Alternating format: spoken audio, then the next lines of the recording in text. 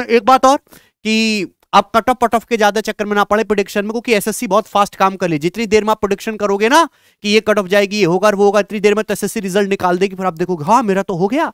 तो आप अभी से मेंस की तैयारी में लग जाए। कैरिबल एप्लीकेशन पर हमारा मेंस का लाइव बैच चल ही रहा है, उसकी दो क्लासेस अभी तक हो चुकी हैं।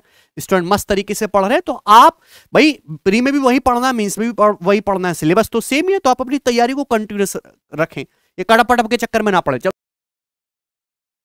लेकिन मैं ये नहीं समझ पा रहा कि बाकी अदर एग्ज़ाम्स तो बहुत अच्छे अच्छे बनाए जा रहे हैं। ये सीजल के साथ भेदभाव क्यों है? क्योंकि सारे सवाल बच्चे बता रहे थे कि वन लाइनर क्वेश्चन आए हैं। रीजनिंग का और मैथ्स का एक भी सिंगल क्वेश्चन चैलेंजिंग नहीं है। स्टैटिस्टिक्स नहीं आया, ना ही प्रोबेबिलिटी का कोई सवाल आया।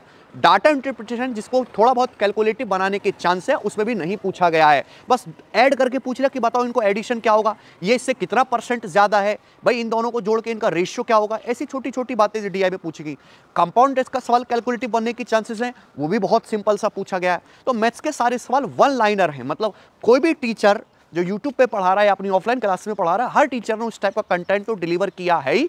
किसी भी बच्चे ने किसी भी टीचर के साथ अगर मन लगा के पढ़ा है तो इस टाइप के वो सारे क्वेश्चन को कर सकता था।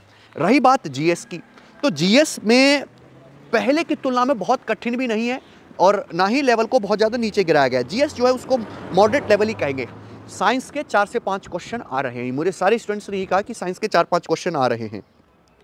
करंट अफेयर के पाँच से ज़्यादा क्वेश्चंस देखने को मिल रहे हैं दोस्त। ओवरऑल जो पेपर है वो इजी टू मॉडरेट लेवल का है। इसमें दिक्कत क्या होती है कि जैसे पैंतीस लाख से ज़्यादा स्टूडेंट्स ने फॉर्म भरा। अटेंडेंस चालीस परसेंट ही जानी है। पंद्रह से सत्रह लाख स्टूडेंट्स जो है वो अपियर होंगे एग्ज़ाम में। एसएससी कहेगी कि लगभग दस से पंद्रह परसेंट क्वालिफाई करा जाए। तो लगभग डेढ़ से दो लाख स्टूडेंट क्वालिफाई करे जाएँगे। पेपर का लेवल आसान है, स्टूडेंट ज़्यादा क्वालिफाई करने तो इस आपकी थोड़ी सी कट ऑफ़ बढ़ने के चांसेस हैं कि बच्चों का रो स्कोर ज़्यादा रहेगा।